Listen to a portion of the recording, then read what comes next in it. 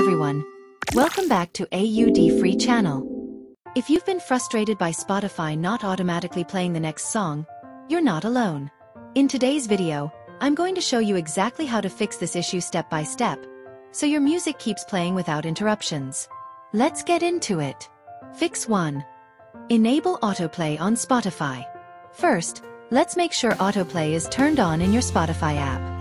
This feature automatically plays similar songs after your current track ends, so you're not left hanging.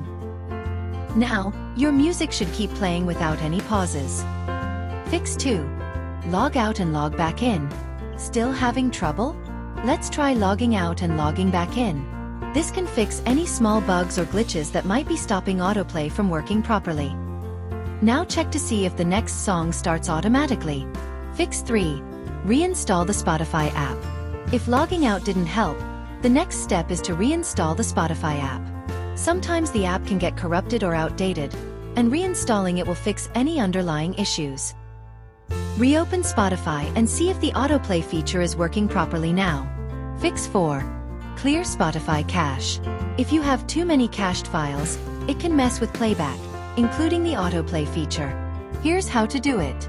This should help fix any playback issues that might be related to your device's storage.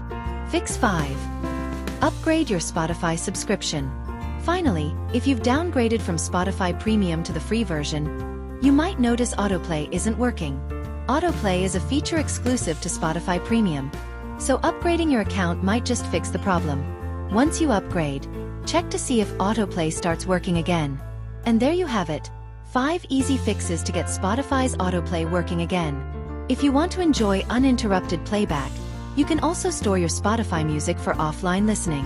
One great way to do this is with AudFree Spotable, which lets you save Spotify songs as local files and listen to them without interruptions.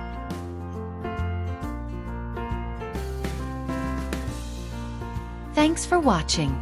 If this video helped you, don't forget to like, comment, and subscribe for more tech tips and tutorials. See you in the next video.